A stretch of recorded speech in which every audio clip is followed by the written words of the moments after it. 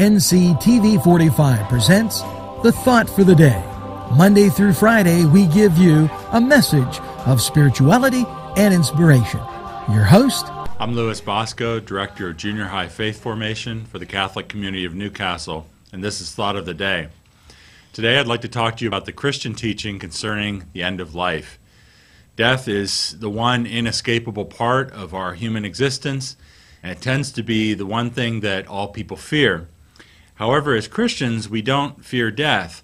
The reason is because we have a relationship with Jesus Christ, who promised us that if we would follow him, we also would live forever.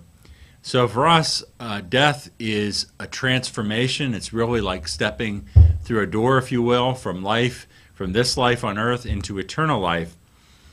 Um, so, how do we start that relationship with Jesus Christ? When we look in the Holy Bible, especially in the Gospels and Acts of the Apostles and the letters of the Apostles, we see that that relationship with Jesus ordinarily starts with baptism.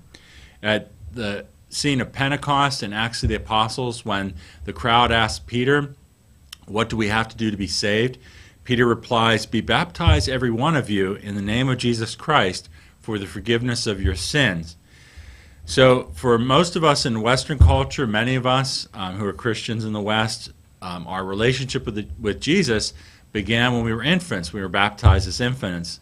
If we're not baptized, um, how do we start a relationship with Jesus? Well, we can start just by speaking to Him. We can say to Jesus, we can express our desire to want to know Him and to come to Him. We can ask Him, please help me to come to know you and to uh, follow you.